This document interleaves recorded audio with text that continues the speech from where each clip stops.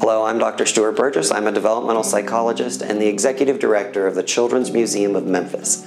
May is Mental Health Awareness Month, and for this Mental Health Minute, we're going to be talking about how to build resilience in young children.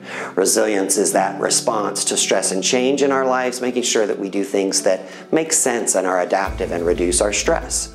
One of the key ways to build resilience in children, which can be done very early on. In fact, we can build resilience throughout the lifespan, but the earlier we start, the better the results will be.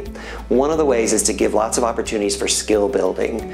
Every talent that we develop and skill that we build becomes a protective factor for how we think about ourselves. Are we valuable as human beings? So everything from running and kicking a ball, catching a ball, reading, writing, math, any art, any skill that you can think of that a child can develop, work on, and hone as something that they feel they're good at is actually a protective factor for their long-term mental health.